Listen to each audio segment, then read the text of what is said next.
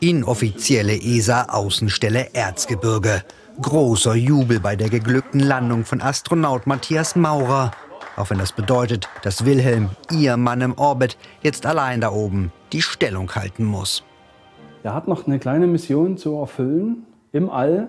Er tüftelt gerade an äh, Hightech-Materialien, die, die er dort kennengelernt hat. Und er hat eine Idee und die muss er erst noch verwirklichen.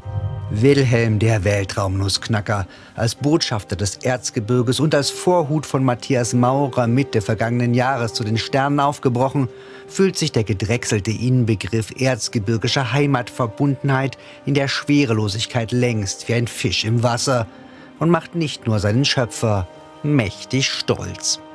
Der Wilhelm heißt ja Wilhelm, weil er benannt ist nach meinem Ur-Ur-Urgroßvater Wilhelm Füchtner. Und ja, er hat ja um 1870 die ersten Nussknacker gebaut.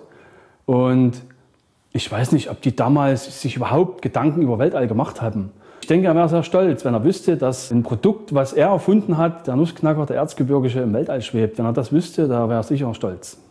Doch nicht nur dort oben können dank des kleinen Kerls große Visionen verwirklicht werden.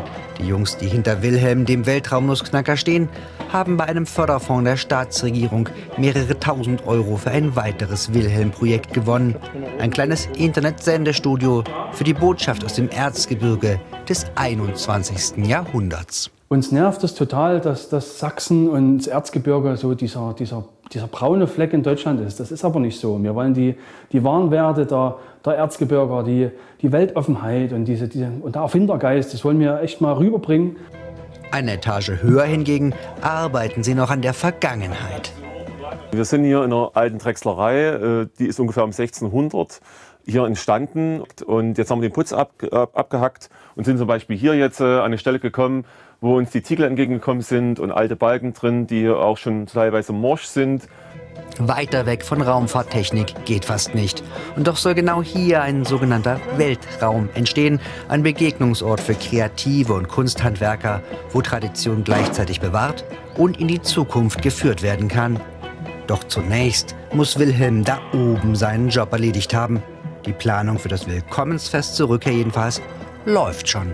Wo wir auch immer wieder überrascht sind, dass so ein Anteil genommen wird. Es ist schon Wahnsinn, was Wilhelm auslöst. Und äh, ja, für Wilhelm ist es vielleicht ein kleiner Schritt, aber für das Erzgebirge ein ganz großer, dass er im Weltall uns vertreten kann und die Region auch irgendwo stärken kann.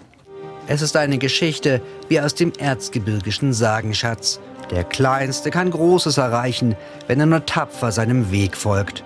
Wann Wilhelm jedoch genau zurückkehrt, steht im Moment noch in den Sternen.